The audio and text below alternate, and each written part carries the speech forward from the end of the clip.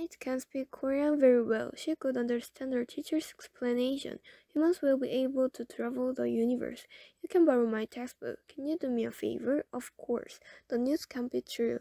You may go to the restroom. May I come in? Yes, you may. No, you may not.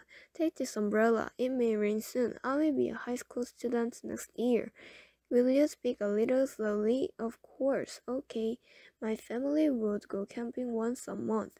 Your joke could have hurt someone's feelings. James cannot have known about his surprise party. Erin may have eaten some spoiled food. I have to return this book to the library by today. She had to wait for her friend for a long time. You will have to go to bed early tonight. She doesn't have to run to school. Uh, you must not leave the class during the test. Danny fell asleep in class. He must be tired. The window is broken. A thief must have broken into the house. I cannot find my muffler. I must have dropped it somewhere. You should listen to music with earphones in public. You should not forget our appointment and should have been more careful.